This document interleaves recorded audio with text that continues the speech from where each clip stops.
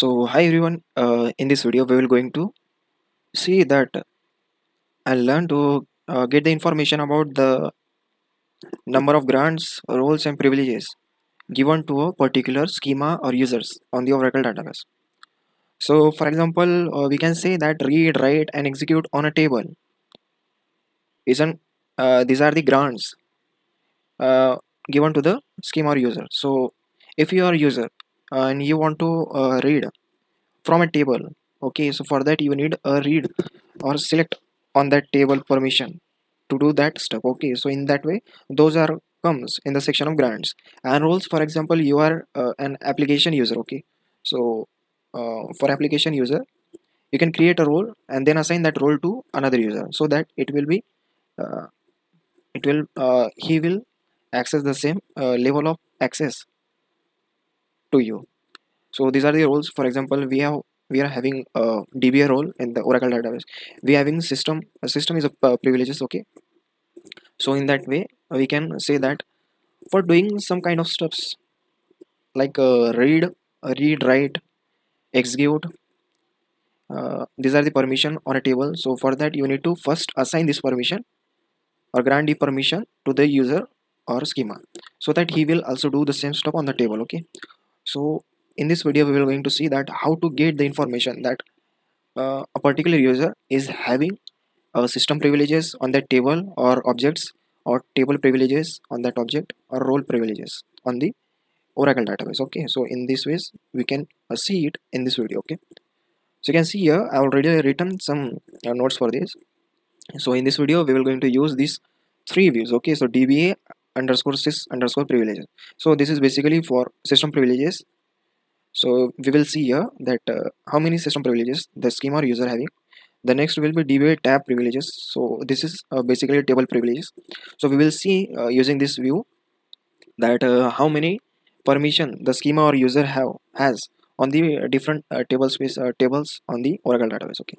The final value is the db underscore role. Okay so using this view uh, we can view the uh, number of roles a particular schema or user having okay? So for example the first we will see dba sys okay? Dba underscore sys privileges okay? So let's see here. So for getting this we will select star from dba sys privileges and where we will mention our schema name okay so for example we want to see that uh, how many system privileges the scott user having okay has. So for this i will mention here grantee as a scott okay. So this scott is basically our user for which we want to get the information about the system privileges.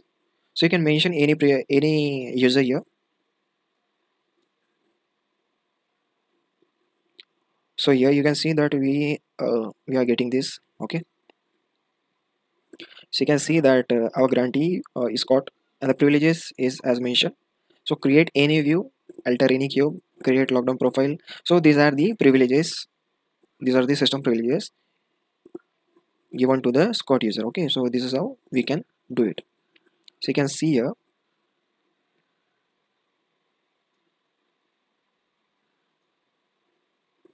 create any trigger force any transaction grant any role okay? So these are the privileges given to the scott user okay on the system level. So if you want to migrate this schema to another database okay so you have to make sure that uh, on the other database also you need to give the same privileges to the schema okay to the scott schema if you want to migrate this scott schema okay. So this is for the system privileges okay. Now again for the table level privileges. We will see what are the privileges. Scott schema have okay. Dba underscore tab underscore privileges okay. Where grantee is equal to scott. So you can see we have not given any table level privileges to the scott okay. So let me give one of the grant read on dba tables to scott oh one minute here show user. Show user. System okay.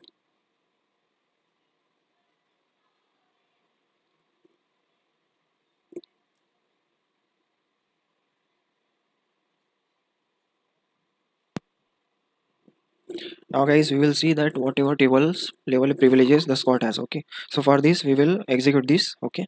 So currently we don't have any privileges given to the Scott user. So let's create one for the it okay? So in the PowerShell I have logged into the server as a sysdb okay? So now we will give a read on permission on dba tables to the Scott user okay? Run again. okay? Done. Now again we will execute the same for the table. So you can see that Scott is having read privileges okay on the DBA tables uh, uh, view okay so in this way we can give another also okay? Like let me give read on. DBA table space to Scott okay? Done.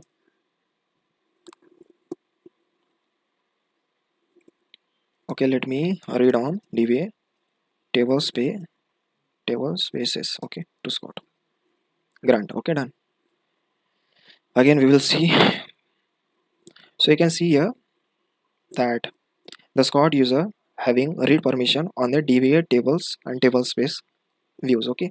So in this way we can see the given user having table level uh, permissions or not okay? So let again we need to revoke revoke all this revoke read on DBA tables and DBA table spaces from Scott. Okay, again revoke read on DBA tables from Scott. Okay, done. Now read on DBA table spaces from Scott. Okay, done. Again, let's check.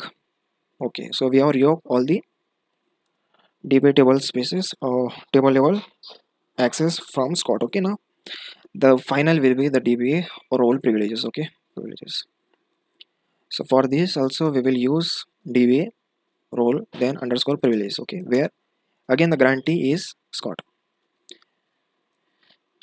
So you can see here that for the Scott user